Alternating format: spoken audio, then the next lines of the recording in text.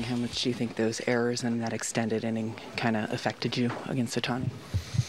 Uh, just not much. Just probably the just the worst fastball of the night. I think terrible spot. Um, tried to go away. I wasn't trying to give in there either. It's just a bad miss. I don't know what to say.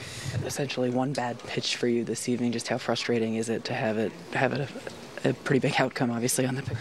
Yeah, it stinks. Look at this team in the month of August. You guys obviously have been scuffling. How do you process what's been going on with this team lately? Um, I don't know. I just kind of try to stay in my lane and take it one game at a time, and we'll have to shower this one off and and uh, get ready for the next start. Um, got a new month coming up and plenty of games left. Series, but you, you know how important this Rays series is. What what do you have ahead of you over the next three games with them, you know, kind of coming on? Yeah, I mean, if history tells us anything, probably some tight ball games. Uh, a lot of different pitchers we'll have to see from the other side. Quality at bats from their lineup. Um,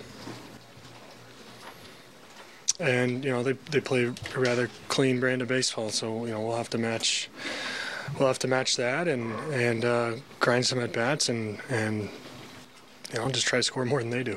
Given where you were in the division a couple of months ago, to, to see where you are now, they're six games back. Is that surprising? Is that tough to deal with? Um, you know, it is what it is.